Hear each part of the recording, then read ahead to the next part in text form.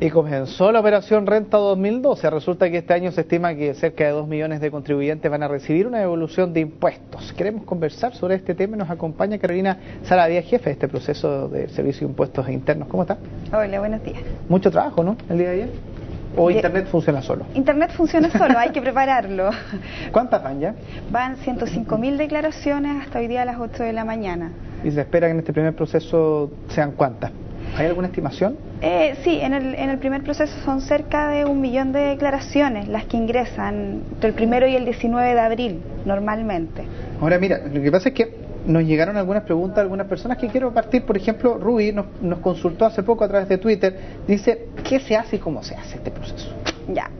Bueno, para las personas, eh, en general el proceso es bien simple, porque deben ingresar a la página web del Servicio de Impuestos Internos con su root y clave, la clave la pueden obtener en la misma página web, y eh, consultar si tienen disponible una propuesta de declaración. Propuestas que están disponibles para cerca de 1.900.000 contribuyentes. Por lo tanto, pueden entrar, revisar la información de sus agentes retenedores, eh, revisar la propuesta que construye el Servicio de Impuestos Internos y si están de acuerdo, enviarla.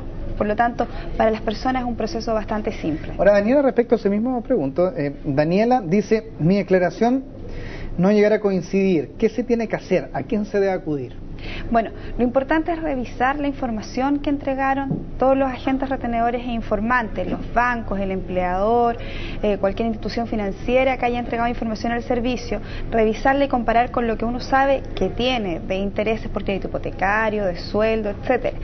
Y en caso de que no coincida, acudir al a la gente informante, ya sea su mismo empleador, ya sea el banco, eh, revisar la información que ellos le proporcionan para que sea coincidente y así no tener problemas posteriormente. ¿Qué pasa si un retenedor no declaró la boleta, por ejemplo? Lo importante es que si, si, tú sabes que tu retenedor no enteró eh, esa o sea, no entregó esa información al Servicio de Impuestos Internos, incorporarla en la declaración de renta, comunicarse con ese empleador, porque él es el que tiene la obligación de retener el impuesto único de segunda categoría en el caso de los empleadores o la retención del 10%. Y por lo tanto es muy importante comunicarse con el empleador. Y en último caso, en última instancia, hacer la denuncia ante el Servicio de Impuestos Internos. Macarena, por ejemplo, pregunta también, ¿qué pasa con el tema de la deuda universitaria y el servicio de impuesto interno? ¿Aparece, se descuenta? ¿Qué pasa con eso? Claro, ese es un proceso que le corresponde a la Tesorería General de la República. Una vez que el servicio autoriza las devoluciones, Tesorería revisa algún tipo de deuda y hace compensaciones. Y por lo tanto, si a la persona le correspondía una devolución de 300 mil pesos y existe una deuda de 200 mil pesos, Tesorería General de la República va a descontar esos 200 mil y va a devolver solo 100 mil. Felipe dice, ¿qué pasa cuando aparecen boletas honorarias aceptadas, pero resulta que Impuesto Interno la tiene con reparos? ¿A qué se puede ver esto? Bueno, eh, ¿qué es lo que se puede ver? Que el empleador o, o para quien prestó el servicio no enteró ante el Servicio de Impuestos Internos el 10% de retención y por eso se genera algún tipo de inconsistencia. Entonces, en ese caso lo importante es comunicarse con el empleador o con la persona a la que le prestó el servicio para que esa persona corrija la situación. Bueno, queremos agradecer a todas las personas que nos escribieron parte de estas preguntas también, que la hemos compartido, pero desde el punto de vista, del punto de vista del proceso propiamente tal, ¿cuáles son las expectativas que tienen ustedes impuestos internos respecto al año anterior? Bueno, eh, el proceso es un proceso bastante fluido, ya ha venido ocurriendo así en los últimos años. El año pasado el 98,8% de las declaraciones se recibieron por Internet y nosotros esperamos eh, que eso se mantenga, en definitiva. Eh, hay que recordar que hay tramos hay periodos entre el primero y el 19 de abril, entre el 20 y el 27. Entonces nosotros esperamos que los contribuyentes ingresen a la página con tranquilidad, que no, no entren todos el primer día o no entren todos el último día, porque en definitiva eso provoca congestión y por lo tanto que vayan entrando durante todo este mes. Recordemos que el, el proceso dura del primero al 30 de abril para los que deben pagar impuestos y del primero de abril al 9 de mayo para quienes solicitan una devolución. Entonces que entren con calma, que revisen la información y que idealmente utilicen la plataforma internet. Ahora, esto puede ser depositado.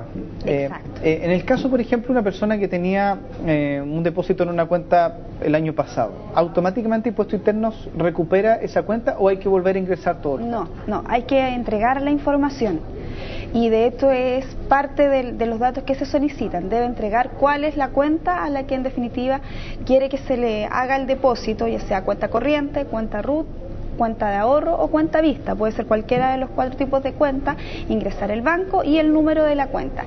Y es Tesorería General de la República quien después toma esta cuenta y hace los depósitos en donde el contribuyente lo solicitó. Si no hay cuenta, esto automáticamente se genera un cheque, ¿no? Exacto, sí. ¿Y eso se, deposita o se va a buscar dónde o llega a domicilio? Llega a domicilio y esos cheques se empiezan a emitir el 30 de mayo. Da lo mismo el periodo en que haya declarado, es el 30 de mayo cuando se comienza la emisión de esos cheques y llega a domicilio. O sea, es importante entonces que la gente sepa que si es por depósito, su dinero lo va a tener antes. Sí, Sí, ahí está, existen los plazos del primero al 19, como decía, el 12 de mayo es el depósito, luego viene el periodo del 20 al 27, que el depósito es el 18 de mayo y los últimos ya que quedan para el, 29 de mayo. Quiero agradecer estar junto a nosotros, esperar que ustedes que están en su casa se hayan aclarado algunos puntos de este proceso que ya se inició ayer, 150 mil, 105 mil. mil declaraciones. En un día domingo, harto. Muchas gracias. ¿eh? Muchas gracias a usted.